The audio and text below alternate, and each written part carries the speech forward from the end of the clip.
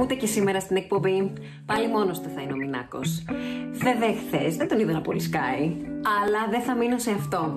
Σε λίγο ξεκινάει η υπέροχη συζήτηση που κάναμε με την Ευγενία Δημητροπούλου, η οποία αξίζει για κάθε της λεπτό. Πάω να συντονιστώ στην τηλεόραση. Ξεκινάμε.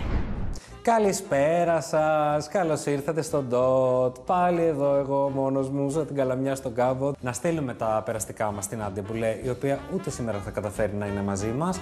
Όμως δεν σημαίνει αυτό κάτι. Έχουμε ετοιμάσει πάρα πολύ ωραία θέματα. Έχουμε μια πάρα πολύ ωραία συνέντευξη της Ευγενίας Δημητρίου.